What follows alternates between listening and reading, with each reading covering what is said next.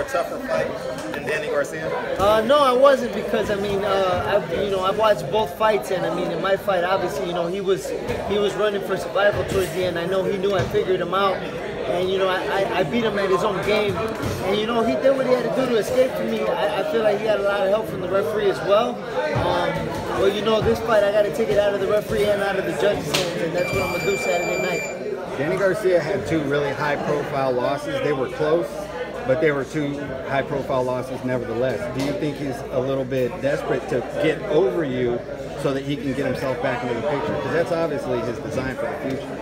Yeah, no, I mean, I don't think he's looking past me, but I know he has bigger plans uh, beyond me, and you know, I'm here to, to interrupt those plans because you know I got my own plans, and you know, this is a this is an opportunity that can catapult me to where I feel like I belong and where I should have been, and uh, that's why you know I'm, I, you know, this fight means a lot to me, and it's it's a must-win situation for me. There's a lot of big boxing news right now. Tell me what you think about the whole Big Baby Miller situation.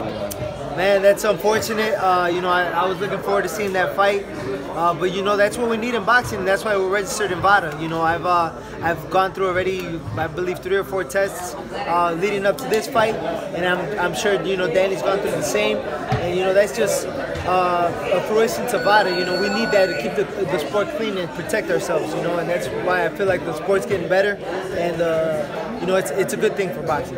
What does that say about a fighter? What kind of what do you think about a fighter that tests positive for performance I mean, you know, it is what it is. He's a cheater. You know, he can't do it on his own, and you know, he needs uh, he needs something illegal to, to give him that edge. And you know, it's not fair to to the rest of the fighters like myself. You know, who we work hard to get to where we're at naturally. And you know, there's plenty of supplements and plenty of nutrition, you know, advancements that we have nowadays that people shouldn't be uh, shouldn't be cheating like that.